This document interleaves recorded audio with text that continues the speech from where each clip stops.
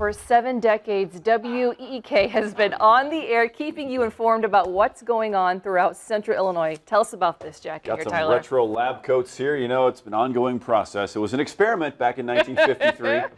70 years later, we're going strong, and Jessica Cook had a chance to talk to the legends who helped shape this station into what it is today. A newscast in the 1950s was a lot different than what you see today. This is how you watch the news a black and white TV, no high definition flat screens, digital technology, cell phones, or live reports.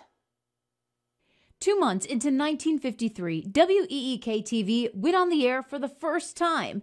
Bob Arthur, the first news anchor, welcomed into homes throughout central Illinois, joined by Francis Dale Hearn, known as Chick in sports, and hometown favorite Bill Houlihan for weather.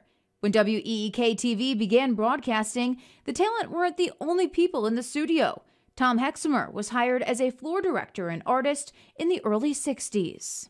We would have maybe 10 to 13 live commercials during a half hour newscast. It'd be an automobile that we'd pull into the studio and pull that out. And while the news was on, we'd set up lawn furniture for Cohen Furniture Company. Many moving parts, a variety of sets, and no zoom function on large heavy cameras meant a lot of physical demands. Hexamer says going from black and white to color was a whole new ballgame. Some of the things that we found out, red, for example, was a very low frequency color. So the red gun on the camera would wear out quicker. Do you think we have anything good to eat today? Well, let's find out. A few things longtime viewers remember from the 70s. The Captain Jinks Show, with Stan Lonergan and George Basilian as Salty Sam, and the live broadcasting of Bradley basketball games, not to mention live newscasts from the Heart of Illinois Fair, and even one from Northwoods Mall in Peoria for the grand opening. We put the, uh, a window so people at the mall could actually actually see us doing the news. Reporters had to have their stories done by 8:30 to make the deadline for the 10 p.m. news. That was because staff was using 16 millimeter film. Gary Ebeling was here from June 1971 to late 1980. He remembers looking at the film on a projector, telling the engineer what he wanted.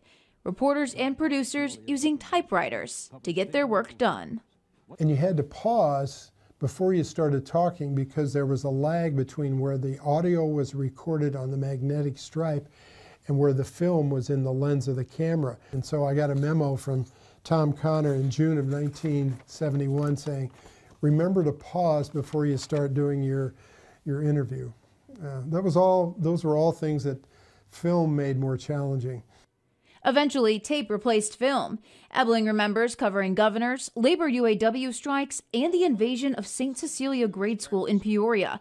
Three men had robbed a sporting goods store on Southwest Adams and eventually went into the school behind Peoria High.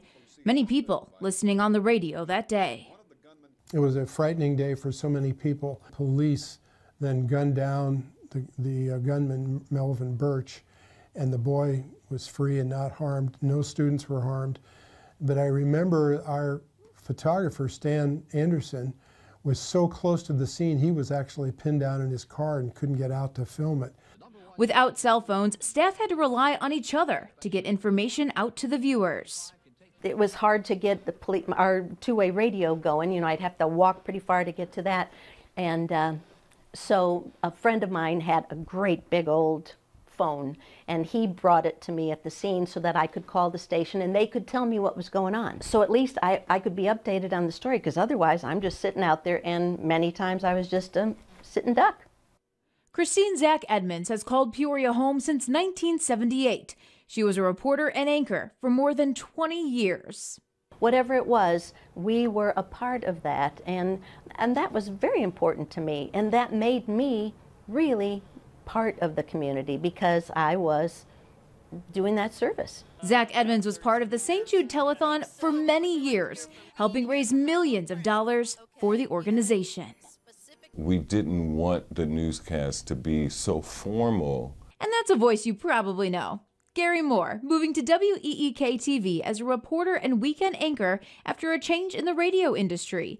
He went on to have a 30 year career at the station, launching the first morning newscast in the market. It was 30 minutes, 6:30 to 7.